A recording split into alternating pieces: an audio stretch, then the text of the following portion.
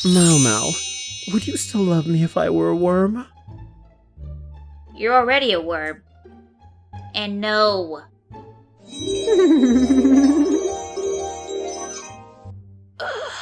Why do I deal with you? You and your pretty fucking face. Ugh.